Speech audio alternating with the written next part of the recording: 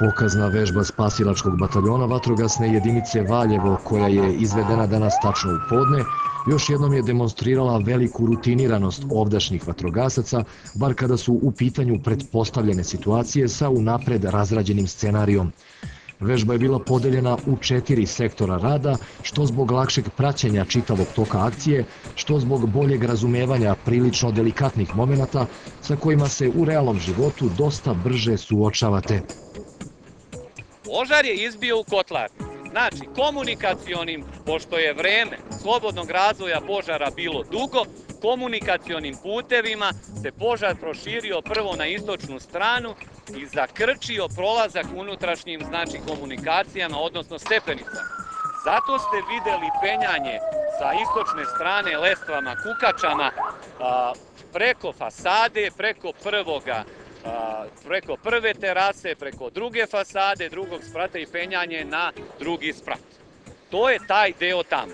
Požar se naravno, zahvaljujući dugom vremenu slobodnog razvoja požara, to znači da je kasno primećen, da je kasno dojavljen, proširio i na unutrašnji deo, ali nije zahvatio znači unutrašnje stepenice, tako da smo mogli u ovom delu da idemo komunikacionim putevima, ali uz pomoć naravno izolacionih aparata za zaštitu organa za disanje i koristili smo postojeću gradsku, odnosno hidransku mrežu za gašenje, to ste videli gore na trećem spratu.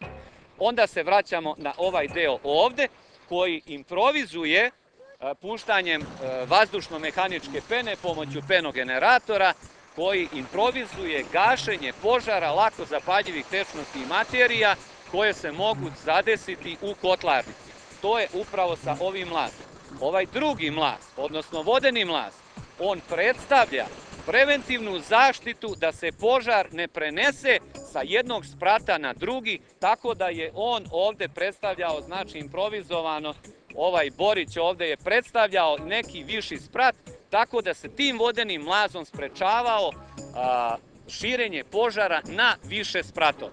Jer se najbrže požar širi sa prvog na drugi i tako dalje vertikalno na više, to svi znamo.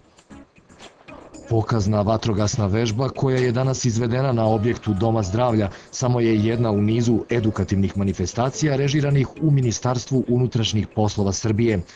Bez ikakve sumnje, ovdašnji sektor za zaštitu i spasavanje ponovo je dokazao da naši sugrađani mogu biti potpuno spokojni kada je u pitanju lična bezbednost, ali i bezbednost njihove imovine, jer su zaposleni u Valjevskom spasilačkom bataljonu, bar za sada i maksimalno rutinirani i krajnje profesionalni.